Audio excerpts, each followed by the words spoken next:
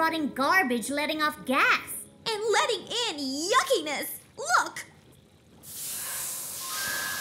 Oh, oh, we gotta get out before we're totally oosified! Ah! Technically, you can get out, Lavender, if you don't mind a tight squeeze through this hole. Through that? Impossible! You know what'd be impossible? Getting the smell of garbage out of your hair. Ugh, my hair? Oh, fine, I'll do it.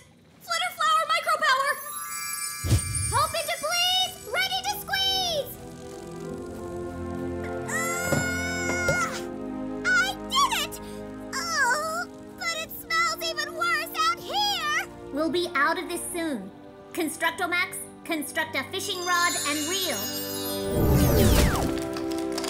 Tie this line to that tractor over there. On it!